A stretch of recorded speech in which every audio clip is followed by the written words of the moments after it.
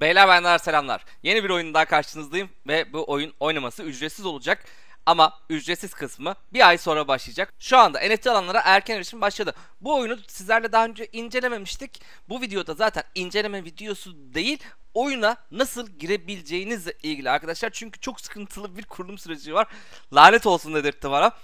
Eğer dilerseniz de oyunun incelemesiyle ilgili, kazançlarıyla ilgili, nasıl oynayacağınızla ilgili videoyu da yorumlara yazarsanız istediğinize dair yorumlara yazarsanız arkadaşlar incelemesini de ayrı olarak yaparız. Oyunumuz ne peki arkadaşlar? Golden Bros. Daha önce de söylediğim gibi incelemesini yapmamıştık ama Buradan baştan sona kadar tüm satışları, güncellemeleri vesaire zaten mesajları siz de görebilirsiniz. Şubat 28'den beri, 2 ay öncesinden beri bu oyunla ilgili sürekli güncellemeleri aktarıyoruz. Bunlardan da haberdar olmak istiyorsanız aşağıda bırakacağım linkten yine Discord'a gelebilirsiniz. Erkenden girip birçok oyunda, birçok projede para kazanabilirsiniz. Neyse geçelim şimdi videomuzun asıl konusuna.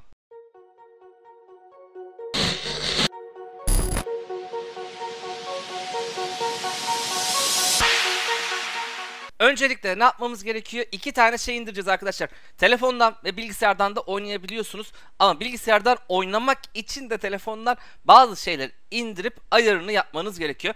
O yüzden bir an önce şuradaki hem aşağıdaki PC versiyonu ve APK'yı indirin. Neden APK'yı indiriyoruz derseniz de Google Play'de arken APK'lar işimle becerisizlikleri yüzünden mi bilmiyorum ama sadece Filipinlere açık şu anda. O yüzden herkesin oynaması için de ekstradan APK koymuşlar. O yüzden o ikisini indiriyoruz. Launcher'ı indirdikten sonra ise hemen sağ köşede arkadaşlar login olacak. Oradan bir hesap yaratmamız gerekiyor. Hesabımızı yarattıktan sonra ise bir de cüzdan bağlamamız gerekecek buraya. O yüzden hemen yine sağ üst köşedeki Connect a Wallet'a tıklıyoruz. Tıkladıktan sonra da yeni bir cüzdan ekleyi değil aman dikkat edin aşağıdakine import wallet'a tıklayacağız. Peki importu nasıl yapacağız arkadaşlar? Size hemen ardından bir size hemen ardından bir token, bir case soracak. Onu da hemen şuradan sizlere göstereyim. Öncelikle MetaMask'imizi açıyoruz ve account details'a tıklıyoruz. Export private key'e tıklıyoruz arkadaşlar.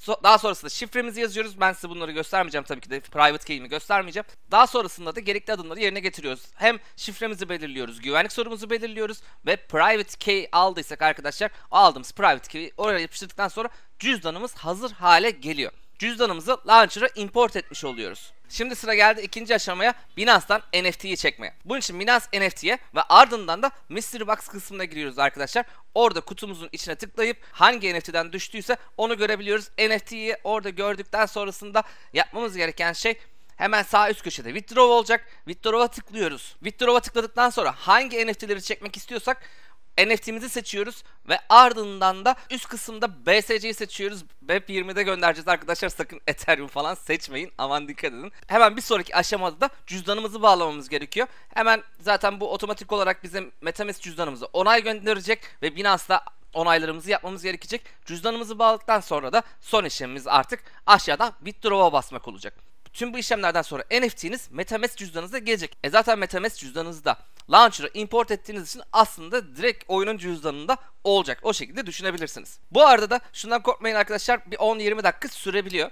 NFT MetaMask'inize yani Launcher'a geçtiği zaman yapmanız gereken şey ise sol üst taraftan Launcher'dan Swap'a tıklamak arkadaşlar. Ve burada hangi kutudan aldıysanız o kutuyu seçiyorsunuz. Binance üzerinde farklı kutular gerçekleşti. Bunu unutmayın. Hangi kutuysa onu seçmeniz lazım. Ve alt taraftan da hangi NFT'den sizde varsa onu seçmeniz gerekiyor. Zaten hatalı seçerseniz karşınıza bir şey çıkmıyor. Endişelenmeyin. Sadece doğru kutuyu seçin. Vakit kaybetmeyin. Ardından bir tane approve onaylama işlemi ve bir tane de swap işlemi yapacağız. Bu işlem Binance NFT'sini direkt oyun NFT'sine dönüştürüyor ve artık NFT'niz oyun içinde oluyor. Peki bu kadarla bitiyor mu? Tabii ki de hayır. Başta mobilede bir APK indirmiştik ya arkadaşlar. İndirdiğimiz APK'yı açıyoruz ve aynı e-mail ile üyelik açıyoruz. Oyuna girdiğinizde başta sizde tutorial'ı oynamasını isteyecek. Bir iki bölüm geçmenizi isteyecek. Temel mantığını anlatacak. O kısımları geçtikten sonra da arkadaşlar karşınıza oyunun ana ekranı gelecek. Buradan sol tarafta hemen profil kısmı var. O profil kısmına tıklıyorsunuz ve sağ alt köşedeki settings kısmına basıyorsunuz. Benim şu anda size gösterdiğim ekranda bu maalesef olmayacak arkadaşlar. Çünkü ben yaptım telefondan da kayıt alamadım o sırada. Burada aman aman dikkat edin hangi cüzdanı kullandıysanız arkadaşlar hangi cüzdanı import ettiyseniz o cüzdanı bir de linklemeniz gerekiyor. Linklerken de sizi yine farklı bir uygulamaya daha yönlendirecek. O sırada da onay vermeniz gerekiyor. O, o uygulamayı da indirip onay vermeniz gerekiyor. En sonunda da hesap link işlemi tamamlandığında şu anda benim ekranda gördüğüm gibi bu cüzdanla linklenmiş oluyor. Bitti mi? Tabii ki de hayır hala bitmedi. Evet bir oyunu oynamak için bu kadar uğraşıyoruz. Gerçekten mükemmel yapmışlar. Sonraki aşamada ise yine bilgisayardaki launcher'a dönüyoruz. Ve aynı yerden cüzdanlarımın kısmından NFT kısmından NFT yerine geliyorsunuz. Ve bu sefer NFT'yi de oyunun içine gönder diyorsunuz. Burada da yine Metamask ile işlem yapacağınız için cüzi bir fee alacak arkadaşlar.